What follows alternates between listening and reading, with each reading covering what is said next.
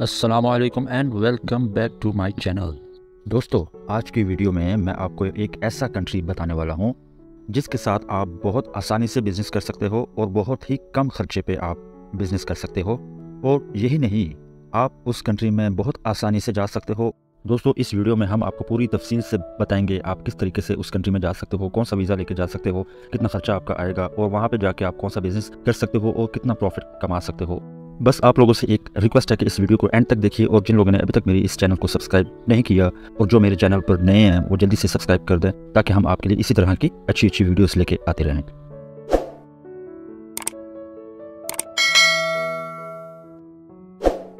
Welcome back दोस्तों, जिस country के बारे में हम आपको बताने वाले हैं, वो कंट्री है ईरान जी हाँ दोस्तों, आप लोग हैरान हो कि ईरान में कारोबार कैसे किया जाए।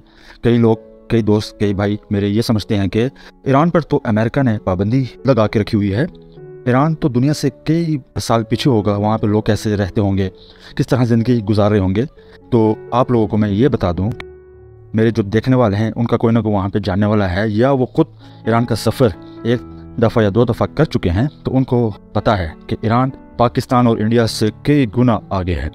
जी हाँ दोस्तों हुमैनी का जो इनकलाब आया था ना उस इनकलाब के बाद अमेरिका ने पाबंदी लगा दी ईरान पर। ईरान के लोग, उन लोगों ने जो इनकलाब के टाइम इतनी मुश्किलें सही तो अब ऐसा दौर आ गया है कि वो बहुत ही खुशहाल है। ईरान को अगर आप देखें, वो यूरोप के मुकाबले में, वहाँ का रहन सहन वहाँ का परचेजिंग पावर उनकी बहुत अच्छी है। उनकी जो रोड्स हैं, उनकी बसेस हैं, आप वहाँ पे जब जाओगे तो आप देखोगे तो आपको हैरान रह जाओगे कि उनकी इतनी प्यारी बसेस, बिल्कुल यूरोप जैसी जो बसेस होती है, उस तर्ज की बसेस हैं, ठीक है? और रोड्स आप देखें तो इतनी साफ़ सुथरी रोड्स हैं ईरान की गलियों, बाज़ारों में बिल्कुल आपको गंद नहीं मिलेगा, कचरा नहीं मिलेगा। यहाँ तक के इनके बाज़ार, तारीखी बाज़ार हैं इनके तो वहाँ पर आपको पुलिस तक नहीं मिलेगी। इतना अमन अमान है ईरान में। और आपको दोस्तों ये भी बता दूँ कि ईरान में जो इस वक्त पेट्रोल जो सेल हो रहा है, वो बीस रुपये लीटर सेल हो रहा है। जी हाँ पाकिस्तानी बीस रुपये पर लीटर। तो आप खुद हिसाब लगा लें, बाकी की ज़िंदगी भी, बाकी के खर्चे भी कितने कम होंगे और ज़िंदगी कितनी आसान होगी ईरान में। चलिए, अब हम आपको बताते हैं कि आप कौन सा वीज़ा लेके किस तरीके से ईरान जा सकते हो और कितना ख़र्चा आता है और वहाँ पे जाके आप कैसे ईरान के साथ बिज़नेस कर सकते हो। दोस्तों, आप वहाँ पर रहते हुए कोई शॉप ले लेते हो तो वो भी ठीक है, उसका एक तरीका कार एक अलग है, उसके लिए बिज़नेस आपने रजिस्टर करना है, ठीक है? लेकिन जो हम आपको तरीका बताने वाले हैं, सबसे सस्ता ठीक है, और आपको फ़ौरन से प्रॉफिट होगा, एक महीने के अंदर अंदर आपको प्रॉफिट हो जाएगा। तो वो बिज़नेस क्या है? आपने इम्पोर्ट एक्सपोर्ट का बिज़नेस करना है। इम्पोर्ट एक्सपोर्ट का बिज़नेस करने के लिए सबसे पहले तो ये आपने सोचना है कि यार, हम तो ईरान की मार्केट नहीं जानते। कुछ लोग तो हैं जो ईरान होके आए हैं पहले, उन्हें तो ईरान के माहौल का और वहाँ के गलियों बाज़ारों का तो पता होगा, लेकिन जो लोग आज तक नहीं गए, उन लोगों ने क्या करना है? जो तरीका मैं आपको बताने वाला हूँ स्टेप बाई स्टेप अगर आप इसको फॉलो करोगे तो मज़ीद आसान हो जाएगा आपको ईरान में बिज़नेस करना। तो आपने क्या करना है? आपने सबसे पहले तो आपने लेना है टूरिस्ट वीज़ा ठीक है? टूरिस्ट वीज़ा लेके ईरान में जाना है। आपने ईरान, तहरान में जाना है, ये याद रखिएगा, क्योंकि तहरान वहाँ का एक बिज़नेस हब है।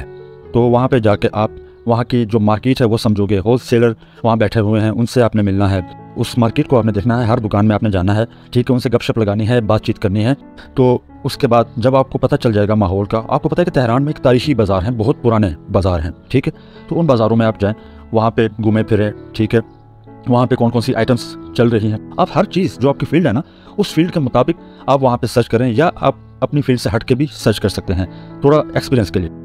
तो उसके बाद आपने क्या करना है? आप वापस आएँगे तो यहाँ से आपने माल परचेज़ करना है। जो भी आपकी ख्वाहिश है, जो आपकी फ़ील्ड है, जो आप समझते हो कि यार आप इजीली परचेज़ कर सकते हो, जिसके बारे में आपको थोड़ी बहुत भी मालूम है। जिस तरह के मैं मिसाल के तौर पर आपको कुछ एग्ज़ाम्पल बताता हूँ कि लोग यहाँ से चावल बेचते हैं ईरान में, ठीक है? लेके जाते हैं, वहाँ पर जाके सील करते हैं। लोग स्पोर्ट्स का सेलकोर्स से स्पोर्ट्स का सामान ख़रीदते हैं। एक एक एसेसरीज जो होती है स्पोर्ट्स की, ठीक है? वो वहाँ से परचेज़ करके तो उसकी पैकिंग बना के और वो वहाँ पर जाके सील करते हैं। और इसी तरह सर्जिकल आइटम्स हैं, ठीक है? हॉस्पिटल की जो सर्जिकल आइटम्स है, वो वहाँ के, वहाँ पे जाके सेल करते हैं। बहुत सारी ऐसी चीज़ें हैं जो पाकिस्तान से ईरान जाती हैं, ठीक है? आप एक दफ़ा जब घुसोगे ना मार्केट में तो आपको पता चल जाएगा कि यार ये भी चीज़ है, ये भी आइटम्स है, ये भी हम जाके सेल कर सकते हैं, आपको मज़ीद एक्सपीरियंस होता जाएगा। अच्छा अब आपने क्या करना है? आपने अपनी पसंद की जो आपने ईरान में जाके जो आइटम्स सेल करनी है, वो आपने परचेज़ कर ली है, करनी है, जो भी है, ठीक है? इसके बाद जो आपका अगला स्टेप होगा, वो क्या होगा? आपने बिज़नेस वीज़े के लिए अप्लाई करना है। बिज़नेस वीज़ा आप किस तरह अप्लाई कर सकते हो? अगर आपका ऑलरेडी पेपर्स बने हुए हैं, आपका छोटा मोटा बिज़नेस है यहाँ पे, उसका एन नंबर वगैरह बना हुआ है तो मेरी एक वीडियो इस चैनल पर पड़ी है, जिसका लिंक मैं नीचे डिस्क्रिप्शन में मेंशन कर दूँगा। आप उस वीडियो को जाके देख सकते हैं। हर किस्म के वीज़ाज़ के बारे में उसमें बताया हुआ है कि आप ऑनलाइन खुद कैसे अप्लाई कर सकते हो। तो दूसरा तरीका यह है कि अगर आपका बिज़नेस नहीं है, आपके पास पेपर्स नहीं है पूरे, सिर्फ़ पासपोर्ट आईडी कार्ड है आपके पास तो आप किसी ट्रैवल एजेंट से आप बिज़नेस वीज़ा के लिए अप्लाई कर सकते हो। उसको थोड़ी से ज़्यादा पैसे आपने देने होंगे तो आपको बिज़नेस वीज़ा वो लेके दे देगा ईरान का और वो वीज़ा होगा एक साल का, ठीक है? उस बिज़नेस वीज़े में ये है कि आप यहाँ से आप सामान लेके जा सकते हो बाय रोड जी हाँ दोस्तों, और आपने जाना है बाय रोड और बाय रोड आपका बहुत ही सस्ता, बहुत ही कम खर्चा आता है ईरान के साथ बिज़नेस करने और वहाँ पे घूमने फिरने के लिए जाने के लिए। आप ईरान वाहिद एक ऐसा कंट्री है जिसका पाकिस्तानी तकरीबन तकरीबन अगर आप टूरिस्ट वीज़ा पे जाते हो, घूमने फिरने के लिए जाते हो तो आपका यहाँ से जाना और पाँच दिन वहाँ पर रहना तकरीबन बीस से पच्चीस हज़ार पाकिस्तानी आपका ख़र्चा आ जाता है। ठीक है दोस्तों इतना सस्ता है। और अगर आपने सामान लेके जाना है तो आपने जो उसकी पैकिंग करानी है आप देखिए कम से कम सामान लेके जा सकते हैं जो वहाँ पे आपने सेल करना है। फ़र्स्ट टाइम आप थोड़ा सामान लेके जाए उसके बाद फिर आप ज़्यादा लेके जाए। मैं एक मिसाल के तौर पे आप, आपको मैं बताता हूँ कि आपने तकरीबन जो है तीन से साढ़े तीन लाख का सामान अगर आपने परचेज़ किया है तो उसकी पैकिंग आपने करानी है। तो पैकिंग कराने तक, सामान ख़रीदने तक और पैकिंग कराने तक तो आपका तकरीबन जो है ना, वो तीन साढ़े तीन लाख तक का खर्चा आ जाता है, ठीक है? तो वही सामान आप जब लेके जाते हो तो आपका उस सामान का जो रेंट लगता है, वो वो भी आपका पचास से साठ या सत्तर हज़ार रुपया पाकिस्तानी आपका लगता है, ठीक है?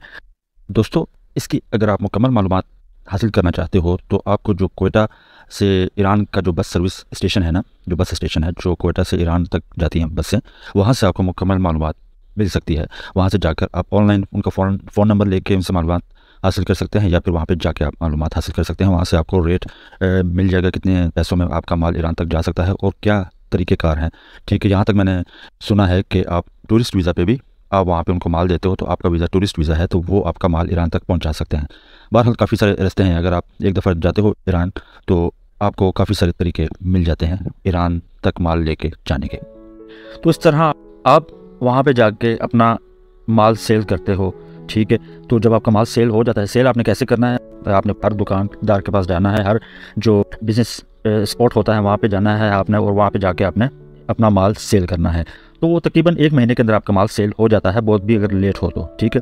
तो वो माल सेल होने के बाद और वो जो प्रॉफिट आपको होता है ना, तकरीबन डेढ़ से एक से डेढ़ लाख रुपया आपको प्रॉफिट हो जाता है। सारे खर्चे खुर्चे निकाल के आपको जो रेंट है, ये निकाल के जितना आपका किराया लगा है, वहाँ पर रहना, खाना, पीना, ये सब निकाल के आपका लाख से डेढ़ लाख रुपया आपको बच जाता है।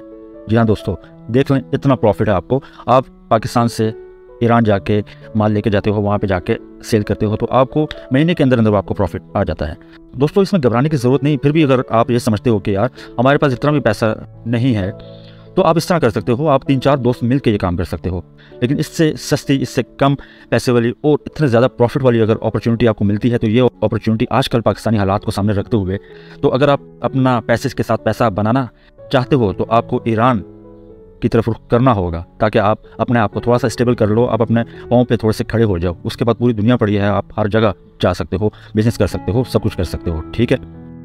दोस्तों, अगर आपको इस वीडियो से कुछ सीखने को मिला है तो आप लोगों से एक रिक्वेस्ट है कि इस वीडियो को दूसरे लोगों तक भी, अपने दोस्तों तक, अपने रिश्तेदारों तक शेयर कीजिए, ताकि वो भी इस वीडियो से कुछ फ़ायदा उठा सकें। और दोस्तों, इस वीडियो को लाइक ज़रूर करिएगा और सब्सक्राइब करना ना भूलिएगा, ताकि इसी तरह की हम आपके लिए अच्छी अच्छी वीडियोस लेके आते रहें। मिलते हैं आपसे नेक्स्ट वीडियो में। अपना ख्याल रखिएगा। तब तक के लिए अल्लाह हाफिज़। पाकिस्तान, जिंदाबाद।